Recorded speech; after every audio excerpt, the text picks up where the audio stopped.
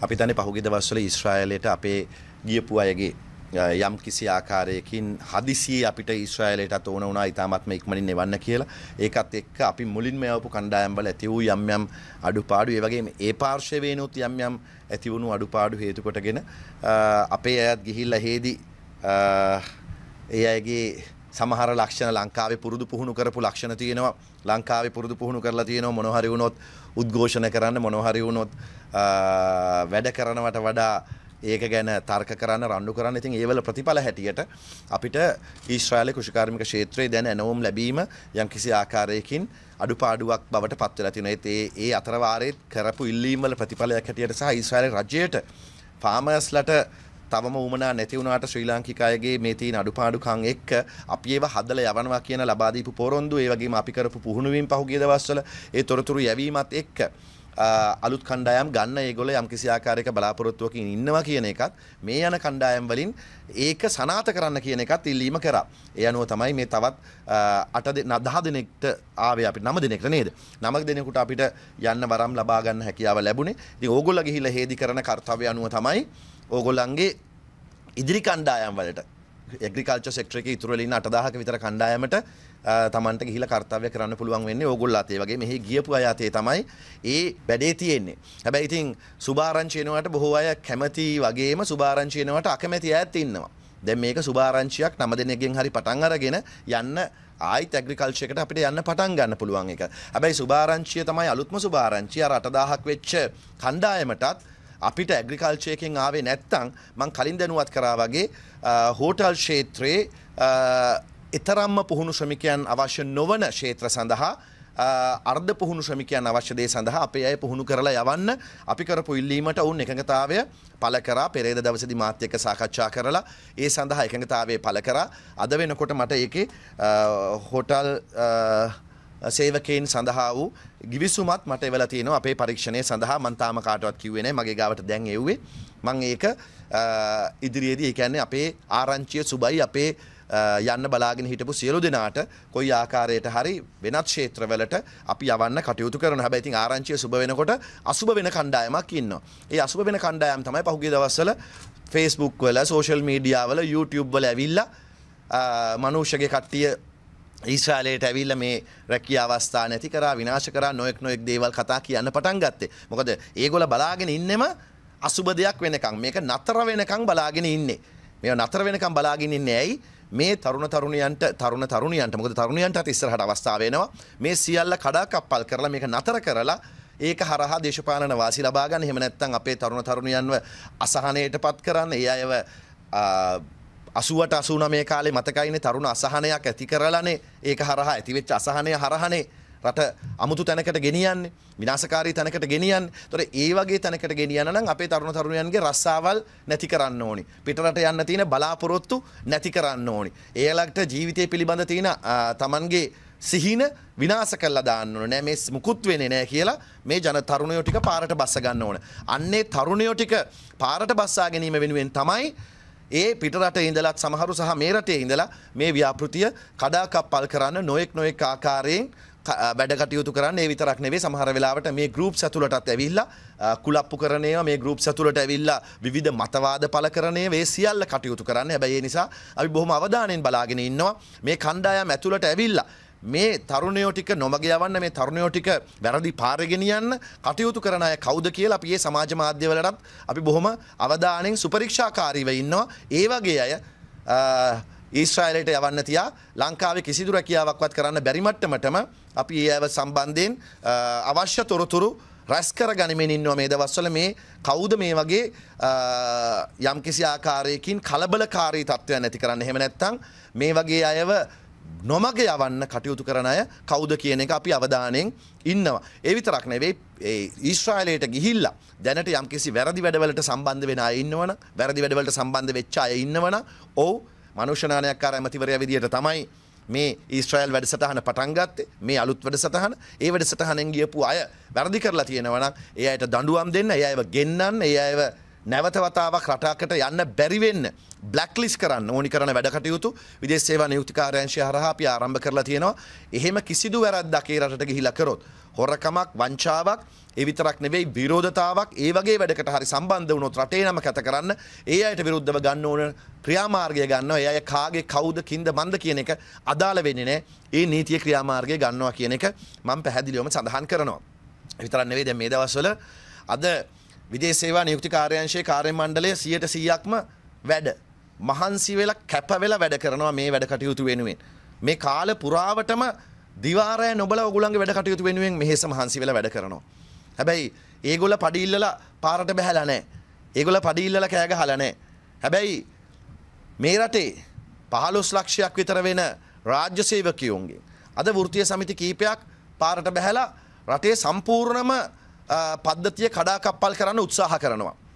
පහුගිය දවස්වල අධ්‍යාපන පද්ධතියම කඩාකප්පල් කරලා පාසල් දහදාහක් වැැහුවා අපි සාර්ථකයි කියලා හවස් වෙනකොට ජෝසප් ස්ටාලින් මහින්ද ජයසිංහ අනුරකුමාර දිසානායක ටිල්වින් සිල්වල ප්‍රසිද්ධිය කිව්වා ඒගොල්ලන්ගේ වැඩ පිළිවෙල සාර්ථකයි පාසල් දහදාහක් වැැහුව හම කියලා.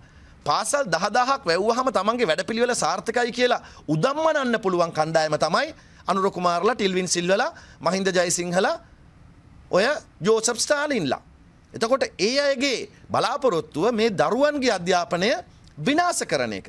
දරුවන්ගේ අධ්‍යාපනය විනාස කරලා දරුවන්ගේ අධ්‍යාපනය විනාස වුණහම ඒක බලපෑමත් එක්ක මේ දරුවෝ ටික පුළුවන් නම් පාරට බස්ස ගන්න මේ දරුවෝ ටික පාසලට එළියට අරගෙන ආයිත් 80ට 89 වගේ අපිවත් ඇදගෙන ගියේ පාරවල් වලට අපි ඉස්කෝලේ යන කාලේ ඒ වගේ පාරවල් වලට ඇදගෙන යන්න පුළුවන්ද කියලා බලන එක අරමුණක් වෙන්න පුළුවන්. ඒ විතරක් නෙවෙයි දැන් අදත් හෙටත් රාජ්‍ය සේවයේ මේ කරන වර්ජනයත් එක්ක මේගොල්ලන්ගේ බලාපොරොත්තුව තියෙන්නේ සුභාරංචි එන්න පටන් අරගෙන තියෙන්නේ. ණය ප්‍රතිව්‍යුහගත කිරණය පළවෙනි අදියර ඉවරයි. රටවල් එක්ක සාකච්ඡා කළ තීන්දුව අරගෙන ඉවරයි. පෞද්ගලික ණය හිමියන් එක්ක සාකච්ඡා කළා තීන්දුව අරගෙන ඉවරයි. බිලියන 8ක ලාභයක් අපේ රටට ගත්තු ණය වලින් කපා හැරගන්න මේ වෙනකොට පුළුවන් වුණා.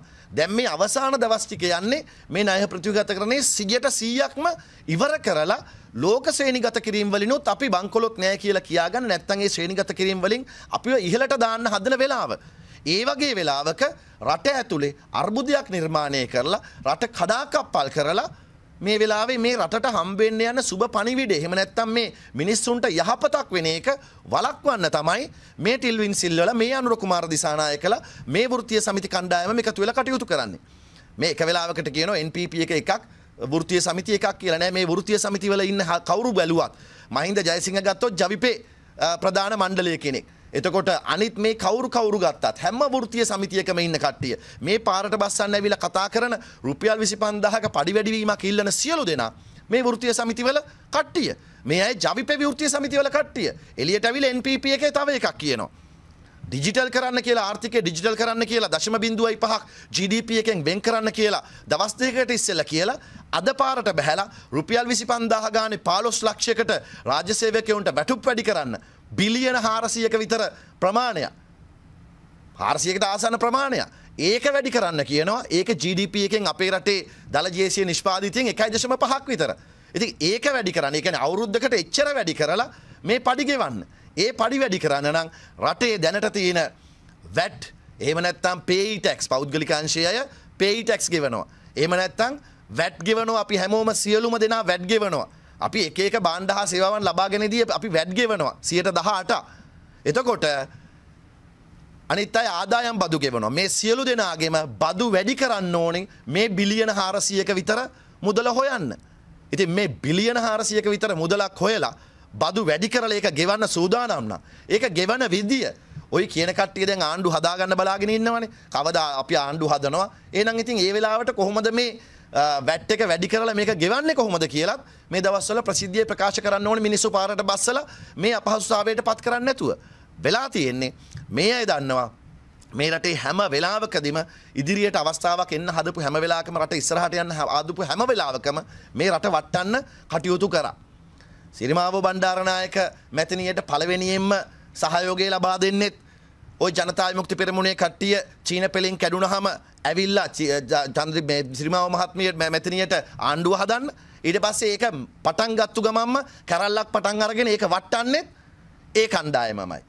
ඒ සිරිමාව මැතිනියට විරුද්ධව වැඩ කරලා තමයි ඇත්ත හතේ ජයර්ජයවදන මැතුමාට හයෙන් පහක බලයක් එන්න වැඩ කරන්න හැබැයි ඒක පටන්ගෙන ටික දවසක් යනකොට විවෘතාර්ථිකයනකොට ඒක කඩාගෙන වට්ටන්න වැඩ කලා. එතන ඉඳල දිගටම මහින්ද රාජපක් චන්ද්‍රිකානෝනගේ ආණ්ඩුවට සහයෝගය දුන්න රනිල් වික්‍රමසිංහ මහත්තයා පරද්දන්න ඕනවට. රනිල් වික්‍රමසිංහ මහත්තයා බලයට එනවට වළක්වන්න. ඊට පස්සේ ආයිත් මහින්ද රාජපක්ෂ මහත්තයට සහයෝගය දුන්න ඒත් රනිල් වික්‍රමසිංහ මහත්තයා බලයට එන වළක්වන්න මහින්ද රාජපක්ෂ මහත්තයට බලය සහයෝගය දුන්න. 2015 ආයිත් සහයෝගය දුන්න කාටද මෛත්‍රපාල සිරිසේන මහත්තයට ඒ සහයෝගය දිල දූෂණ අරෝ මේවා කියලා ඒ සේරමත් කරලා අන්තිමට එක වට්ටන්නත් වැඩ කර. ඒ වගේම තමයි හැම වෙලාවකදීම මේ වෙලාවේ දැන් ආණ්ඩුවේ රටේ ඉස්සරහට යන වැඩපිළිවෙලක් වෙනකොට රට ඇතුලේ දිගින් දිගටම සංවර්ධන වැඩ වෙනකොට රට ඇතුලේ මෙච්චර කල් අවුරුදු දෙකක් හිරවෙලා තිවිච්ච ආර්ථික වැඩපිළිවෙල ආර්ථිකව කඩාගෙන වැටිච්ච එක නතර වෙලා දැන් කඳුරට දශකය වෙන්න පුළුවන් විමධ්‍යගත අරමුදල් හරහා ගමට එන්න තිවිච්ච වෙලාව මේ අවසාන දවස් මේවා වැඩ කරන්න තියෙන. ඒ වැඩ ටික ගමට එන එක නතර කරන්න ඕන වෙලා තියෙනවා. උරුමය හරහා ගමට යන්න තියෙන ඔප්පු ටික මිනිස්සුන්ට හම්බෙන්න තියෙන ඔප්පු ටික නතර කරන්න ඕන වෙලා තියෙනවා. අස්වැසුම වැඩසටහන සරහා ලක්ෂ දහටකට පවුල්වලට හම්බේන එක ලක්ෂ විසිහතරක් පවුල්වලට අස්වැසුම දෙන්න යන එක පාලොස්දාහ ගානි. ඒක දැන් නතර කරන්න ඕනි. මෙන මේ නතර කරන්න ඕන නිසා තමයි පාරට බැහැලා මේ විරෝධතාවයක් පටන් අරගෙන තියෙන මේ රාජසේවකයෝන් හරහා මේ රාජ්‍යන්ත්‍රණය කඩා කප්පල් කරන්න මොකටද මේ හදන්නේ මේ අය අසුවට අසුනමේදීත් මේ විදියටම රාජ්‍යාන්ත්‍රණය කඩා කප්පල් කරලා ඡන්දේ තියෙන එක වලක්වල මිනිස්සු ඡන්දෙට යන එකත් වලක්වන්න උත්සාහ කරා.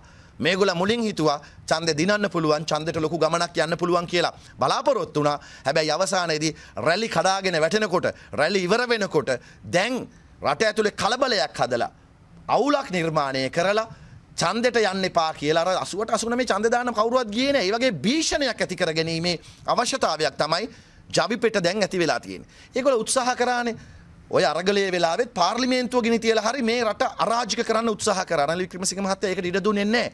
රටේ තෙල් බෙහෙත් ගෑස් ගන්න තියෙන සල්ලි ටික විදේශගත ශ්‍රමිකයන්ට එවන්න එපා කියලා කිව්වා. මොකටද? රට වටන්න ඕනේ නිසා. හැබැයි ඒක අහන්නේ නැතුව අපේ විදේශගත ශ්‍රමිකයෝ සල්ලි එව්වා. රට වැටෙන්නේ නැති වෙන්න. හැබැයි දැන් එක එක අවස්ථාවලදී ඒ රටේ අපිට IMF එකෙන් පළවෙනි එකඟතාවය හම්බ වෙන්න හදනකොටම පළවෙනි විරෝධතාවය කළා. වෘත්තිය සමිති 40ක් ගෙනල්ලා. මේ දෙවැනි අවස්ථාවේදී මේක එකඟතාවය හම්බෙන්න හදනකොට එදා ගුරුවරු ටික පාරට බැස්සුවා. දැන් මේ ඉතිරි වැඩ ටික නිවැරදි මාර්ගයට ඇවිල්ලා ලෝකෙන් සියල්ල එකඟතාවය හම්බෙන්න යනකොට මෙන්න නැවත වතාවක් අර්බුදයකට හදන්නේ ආයිත් 80ට 89 වගේ තත්ත්වයක් නිර්මාණය කරන්න ඕන නිසයි කියන එක පැහැදිලිවම අපි දන්නවා. ඉතින් දැන් අද ජනතාව කල්පනා කරන්න ඕනි මේ අපේ රාජ්‍ය සේවකයෝ බිල්ලට අරගෙන රාජ්‍ය සේවකයෝ මේ රටට විශාල කාර්යභාරයක් කරන කණ්ඩායම ඒ අය බිල්ලට අරගෙන රාජ්‍ය සේවකයන් කෙරෙහිත් වෛරයක් හදලා රාජ්‍ය සේවකයන් කෙරෙහි යම්කිසි පීඩනයක් ඇති කරලා ජනතාවගේ පැත්තෙන් මේ අය කල්පනා කරන්න ජනතාව ලව්ව මේ රාජ්‍ය සේවකයන්ට යම්කිසි බලපෑමක් ඇති කරවන්න රාජ්‍ය සේවකයන්ට අවදානම් තත්ත්වයක් ඇති කරන්න ජනතාව හරහා. ඇයි? එහෙම කරලා මේගොල්ලන්ට ඕනි කරන වාසිය ලබා ගන්න. ජනතාවට කිව්වොත් තව 100ට පහක් විතර වැට් වැඩි කරන්න වෙනවා කියලා. හතරක් පහක් 100ට අපි දන්නේ ගණන් හදලා බලන්න. සියට හතරක් පහක් තව වැට් වැඩි කරොත් තව හම්බු මේ මහන්සි වෙලා හම්බු කරන අයගෙන් ආදායම් බදු ගැහුවොත් තව එතකොට ලක්ෂයකට වඩා හම්බු කරන අයගෙන් තවත් පේයි ටැක්ස් එක කපන්න පටන් ගත්තොත් එතකොට ඒ අය සූදානම් වෙයිද ලක්ෂ 15කට පඩි ගෙවන්න තමන්ගේ ආදායම් බදු ගෙවන්න වැට් ගෙවන්න එහෙම නැත්නම් පේයි ටැක්ස් ගෙවන්න උපයන විට බදු ගෙවන්න අරක ගෙවන්න එතකොට එහෙම විරෝධතාවයක් හදලා මේ මිනිස්සු මිනිස්සු ගස්සනයක් ඇති කරන්න රාජ්‍ය සේවකයෝයි අනිත් සාමාන්‍ය ජනතාවයි අතර ගස්ටනයක් හදන්න තමයි මේ ජවිපේ උත්සාහ කරන්නේ. මේක මේ ටිල්වින් සිල්වලගේ අනුරු කුමාර දිසානායකලා පිටිපස්සේ ඉඳගෙන කරන කාර්යයක් කියන එක මං හිතන්නේ රටම දැනුවත් වෙන්න ඕනි. ඕගොල්ලෝ ඉන්න අතරේ මම ශ්‍රමිකයෝ විදේශගත ශ්‍රමිකයෝ වෙන්න බලාපොරොත්තුවෙන් සූදානම් වෙලා ඉන්න අය වගේම ගිහිල්ලා ඇවිල්ලා නැවත වතාවක් ඊශ්‍රායල කරා යන්න බලාපොරොත්තු වෙන අය. අපි තන්නේ පහුගිය දවස්වල ඊශ්‍රායලයට අපේ ගියපු අයගේ යම් කිසි ආකාරයකින් හදිසියේ අපිට ඊශ්‍රායලයටත් ඕන වුණා ඉතාමත්ම ඉක්මනින් එවන්න කියලා. ඒකත් එක්ක අපි මුලින්ම යවපු කණ්ඩායම් වල ඇති වූ යම් යම් අඩුපාඩු ඒ වගේම ඒ පාර්ශවයනොත් යම් යම් ඇති වුණු අඩුපාඩු හේතු කොටගෙන අපේ අයත් ගිහිල්ලා හේදි ඒ අයගේ සමහර ලක්ෂණ ලංකාවේ පුරුදු පුහුණු කරපු ලක්ෂණ තියෙනවා ලංකාවේ පුරුදු පුහුණු කරලා තියෙනවා මොනවා හරි වුණොත් උද්ඝෝෂණ කරන්න මොනවා හරි වුණොත් වැඩ කරනවට වඩා ඒක ගැන තර්ක කරන්න රණ්ඩු කරන්න ඉතින් ඒවල ප්‍රතිඵල හැටියට අපිට ඊශ්‍රායල කෘෂිකාර්මික ක්ෂේත්‍රයේ දැන ඇනවුම් ලැබීම යම්කිසි ආකාරයකින් අඩුපාඩුවක් බවට පත් වෙලා තියෙනවා. ඒ ඒ අතරවාරයේ කරපු ඉල්ලීම් වල ප්‍රතිඵලයක් හැටියට සහ ඊශ්‍රායල රජයට ෆාමර්ස්ලට තවම උමනා නැති වුණාට ශ්‍රී ලාංකික අයගේ මේ තියෙන අඩුපාඩුකම් එක්ක අපි ඒව හදලා යවනවා කියන ලබා දීපු පොරොන්දු ඒ වගේම අපි කරපු පුහුණුවීම් පහුගිය දවස්වල ඒ තොරතුරු යැවීමත් එක්ක අලුත් කණ්ඩායම් ගන්න ඒගොල්ලෝ යම්කිසි ආකාරයක බලාපොරොත්තුවකින් ඉන්නවා කියන එකත් මේ යන කණ්ඩායම් වලින් ඒක සනාත කරන්න කියන එකත් ඉල්ලීම කරා. ඒ අනුව තමයි මේ තවත් අට දහ දෙනෙක්ට ආවේ අපි නම දෙනෙක්ට නේද? නම දෙනෙකුට අපිට යන්න වරම් ලබා ගන්න හැකියාව ලැබුණේ. ඉතින් ඕගොල්ලෝ ගිහිල්ලා හේදි කරන කාර්යය අනුව තමයි ඕගොල්ලන්ගේ ඉදිරි කණ්ඩායම් වලට එග්‍රිකල්චර් සෙක්ටර් එකේ ඉතුරු වෙලා ඉන්න 8000ක විතර කණ්ඩායමට තමන්ට ගිහිලා කර්තව්‍ය කරන්න පුළුවන් වෙන්නේ ඕගොල්ලෝ අතේ වගේ මෙහි ගියපු අය අතේ තමයි ඒ වැඩේ තියෙන්නේ. හැබැයි ඉතින් සුභාරංචි වෙනවට බොහෝ අය කැමති වගේම සුභාරංචි වෙනවට අකමැති අයත් ඉන්නවා. දැන් මේක සුභාරංචියක් නම දෙනෙක්ගෙන් හරි පටන් අරගෙන යන්න ආයිත් ඇග්‍රිකල්චර් එකට අපිට යන්න පටන් ගන්න පුළුවන් එක. හැබැයි සුභාරංචිය තමයි අලුත්ම සුභාරංචිය අර 8000ක් වෙච්ච කණ්ඩායමටත් අපිට ඇග්‍රිකල්චයකින් ආවේ නැත්තං මං කලින් දැනුවත් කරා වගේ හෝටල් ක්ෂේත්‍රයේ එතරම්ම පුහුණු ශ්‍රමිකයන් අවශ්‍ය නොවන ක්ෂේත්‍ර සඳහා අර්ධ පුහුණු ශ්‍රමිකයන් අවශ්‍ය දේ සඳහා අපේ අය පුහුණු කරලා යවන්න. අපි කරපු ඉල්ලීමට ඔවුන් එකඟතාවය පළ කරා පෙරේද දවසේදී මාත් එක්ක සාකච්ඡා කරලා ඒ සඳහා එකඟතාවය පළ කරා. අද වෙනකොට මට ඒකේ හෝටල් සේවකයින් සඳහා වූ ගිවිසුමත් මට එවලා තියෙනවා. අපේ පරීක්ෂණය සඳහා මම තාම කාටවත් කිව්වේ නැහැ මගේ ගාවට දැන් එව්වේ. මම ඒක ඉදිරියේදී ඒ කියන්නේ අපේ ආරංචිය සුබයි අපේ යන්න බලාගෙන හිටපු සියලු දෙනාට කොයි ආකාරයට හරි වෙනත් ක්ෂේත්‍රවලට අපි යවන්න කටයුතු කරන හැබැයි ඉතින් ආරංචිය සුබ වෙනකොට අසුබ වෙන කණ්ඩායමක් ඉන්නවා. ඒ අසුබ වෙන කණ්ඩායම් තමයි පහුගිය දවස්වල Facebook වල සෝෂල් මීඩියා වල YouTube වල ඇවිල්ලා මනුෂ්‍යගේ කට්ටිය ඊශ්‍රාලයට ඇවිල්ල මේ රැකිය අවස්ථා නැති කරා විනාශ කරා නොයෙක් නොයෙක් දේවල් කතා කියන්න පටන් ගත්තේ. මොකද ඒගොල්ල බලාගෙන ඉන්නෙම අසුබ දෙයක් වෙනකම් මේක නතර වෙනකම් බලාගෙන ඉන්නේ.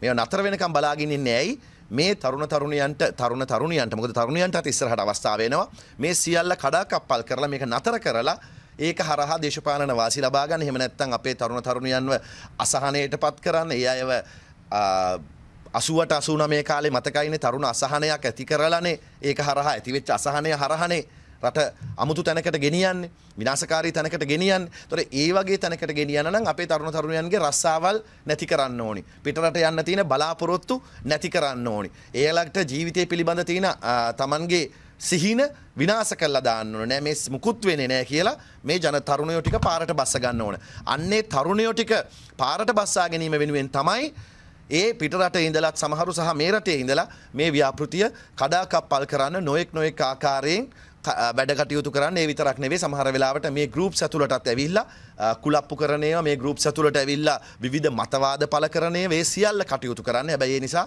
අපි බොහොම අවධානයෙන් බලාගෙන ඉන්නවා මේ කණ්ඩායම් ඇතුළට ඇවිල්ලා මේ තරුණයෝ ටික නොමග යවන්න මේ තරුණයෝ ටික වැරදි පාරේ ගෙනියන්න කටයුතු කරන අය කවුද කියලා අපි මේ සමාජ මාධ්‍යවලටත් අපි බොහොම අවධානයෙන් සුපරීක්ෂාකාරීව ඉන්නවා. ඒ වගේ අය ඊශ්‍රායලයට යවන්න තියා ලංකාවේ කිසිදු රැකියාවක්වත් කරන්න බැරි මට්ටමටම අපි ඒ අයව සම්බන්ධයෙන් අවශ්‍ය තොරතුරු රැස් කර ගනිමින් ඉන්නවා මේ දවස්වල මේ කවුද මේ වගේ යම්කිසි ආකාරයකින් කලබලකාරී තත්ත්වයන් ඇති කරන්න එහෙම නැත්නම් මේ වගේ අයව නොමග යවන්න කටයුතු කරන අය කවුද කියන එක අපි අවධානයෙන් ඉන්නවා. ඒ විතරක් නෙවෙයි ඊශ්‍රායලයට ගිහිල්ලා දැනට යම්කිසි වැරදි වැඩවලට සම්බන්ධ වෙන අය ඉන්නවන වැරදි වැඩවලට සම්බන්ධ වෙච්ච අය ඉන්නවන ඔව් මනුෂ්‍යනානයක්කාර ඇමතිවරය විදියට තමයි මේ ඊස්ට්‍රයිල් වැඩසටහන පටන් ගත්තේ. මේ අලුත් වැඩසටහන ඒ වැඩසටහනෙන් ගියපු අය වැරදි කරලා තියෙනවා නම් ඒ අයට දඬුවම් දෙන්න ඒ අයව ගෙන්නන්න ඒ අයව නැවත වතාවක් රටාකට යන්න බැරි වෙන්න බ්ලක්ලිස් කරන්න ඕනි කරන වැඩ කටයුතු විදේශ සේවා නියුක්ති කාර්යාංශය හරහා අපි ආරම්භ කරලා තියෙනවා. එහෙම කිසිදු වැරද්දක් ඒ රටට ගිහිලා කරොත් හොරකමක් වංචාවක් ඒ විතරක් නෙවෙයි විරෝධතාවක් ඒ වගේ වැඩකට හරි සම්බන්ධ වුණොත් රටේ නම කැත කරන්න ඒ අයට විරුද්ධව ගන්න ඕන ක්‍රියාමාර්ගය ගන්නවා. ඒ අය කාගේ කවුද කින්ද මන්ද කියන එක අදාළ වෙන්නේ නැහැ. ඒ නීතිය ක්‍රියාමාර්ගය ගන්නවා කියන එක මම පැහැදිලිවම සඳහන් කරනවා. විතරක් නෙවෙයි දැන් මේ දවස්වල අද විදේශ සේවා නියුක්ති කාර්යාංශයේ කාර්ය මණ්ඩලය 100%ක්ම වැඩ මහන්සි වෙලා කැප වෙලා වැඩ කරනවා මේ වැඩ කටයුතු වෙනුවෙන්. මේ කාල පුරාවටම දිවාරය නොබල ඔගුලන්ගේ වැඩ කටයුතු වෙනුවෙන් මෙහෙස මහන්සි වෙලා වැඩ කරනවා. හැබැයි ඒගොල්ල පඩිල්ලලා පාරට බැහැලා නැහැ. ඒගොල්ල පඩිල්ලලා කෑ ගහලා නැහැ. හැබැයි මේ රටේ 15 ලක්ෂයක් විතර වෙන රාජ්‍ය සේවකයෝන්ගේ අද වෘත්තීය සමිති කීපයක් පාරට බැහැලා රටේ සම්පූර්ණම පද්ධතිය කඩාකප්පල් කරන්න උත්සාහ කරනවා. පහුගිය දවස්වල අධ්‍යාපන පද්ධතියම කඩාකප්පල් කරලා පාසල් 10000ක් වැහුවා අපි සාර්ථකයි කියලා හවස් වෙනකොට ජෝසප් ස්ටාලින් මහින්ද ජයසිංහ අනුර කුමාර දිසානායක ටිල්වින් සිල්වල ප්‍රසිද්ධියේ කිව්වා ඒගොල්ලන්ගේ වැඩපිළිවෙල සාර්ථකයි පාසල් 10000ක් වැහුවාම කියලා. පාසල් 10000ක් වැහුවාම තමන්ගේ වැඩපිළිවෙල සාර්ථකයි කියලා උදම්මනන්න පුළුවන් කණ්ඩායම තමයි අනුර කුමාරලා ටිල්වින් සිල්වලා මහින්ද ජයසිංහලා ඔය ජෝසප් ස්ටාලින්ලා. එතකොට ඒ අයගේ බලාපොරොත්තුව මේ දරුවන්ගේ අධ්‍යාපනය විනාස කරන එක. දරුවන්ගේ අධ්‍යාපනය විනාස කරලා දරුවන්ගේ අධ්‍යාපනය විනාස වුණහම ඒක බලපෑමත් එක්ක මේ දරුවෝ ටික පුළුවන් නම් පාරට බස්ස ගන්න මේ දරුවෝ ටික පාසලට එළියට අරගෙන ආයිත් 80ට 89 වගේ අපිවත් ඇදගෙන ගියේ පාරවල් වලට අපි ඉස්කෝලේ යන කාලේ ඒ වගේ පාරවල් වලට ඇදගෙන යන්න පුළුවන්ද කියලා බලන එක අරමුණක් වෙන්න පුළුවන්. ඒ විතරක් නෙවෙයි දැන් අදත් හෙටත් රාජ්‍ය සේවයේ මේ කරන වර්ජනයත් එක්ක මේගොල්ලන්ගේ බලාපොරොත්තුව තියෙන්නේ සුභාරංචි එන්න පටන් අරගෙන තියෙන්නේ. ණය ප්‍රතිව්‍යුහගත කිරණය පළවෙනි අදියර ඉවරයි. රටවල් එක්ක සාකච්ඡා කළා තීන්දුව අරගෙන ඉවරයි. පෞද්ගලික ණය හිමියන් එක්ක සාකච්ඡා කළා තීන්දුව අරගෙන ඉවරයි.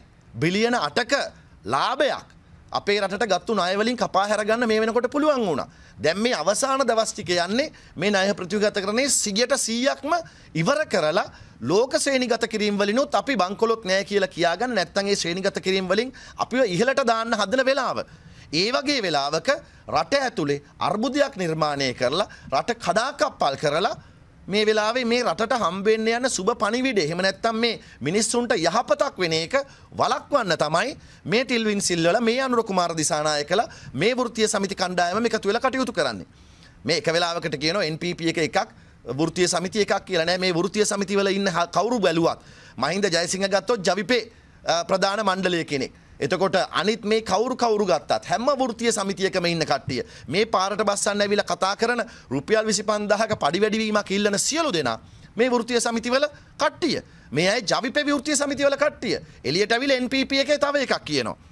ඩිජිටල් කරන්න කියලා ආර්ථිකය ඩිජිටල් කරන්න කියලා දශම බිඳුවයි පහක් GDP එකෙන් වෙන් කරන්න කියලා දවස් දෙකකට ඉස්සෙල්ලා කියලා අද පාරට බැහැලා රුපියල් 25000 ගානේ 15 ලක්ෂයකට රාජ්‍ය සේවකයන්ට වැටුප් වැඩි කරන්න බිලියන 400ක විතර ප්‍රමාණයක් 400කට ආසන්න ප්‍රමාණයක් ඒක වැඩි කරන්න කියනවා ඒක GDP එකෙන් අපේ රටේ දල ජේසිය නිෂ්පාදිතයෙන් 1.5ක් විතර. ඉතින් ඒක වැඩි කරන්න. ඒ කියන්නේ අවුරුද්දකට එච්චර වැඩි කරලා මේ පඩි ගෙවන්න. ඒ පඩි වැඩි කරන්න නම් රටේ දැනට තියෙන වැට් එහෙම නැත්නම් පේයි ටැක්ස් පෞද්ගලික අංශය අය පේයි ටැක්ස් ගෙවනවා. එහෙම නැත්නම් වැට් ගෙවනවා අපි හැමෝම සියලුම දෙනා වැට් ගෙවනවා. අපි එක එක බාණ්ඩ හා සේවාවන් ලබාගෙනදී අපි වැට් ගෙවනවා 118.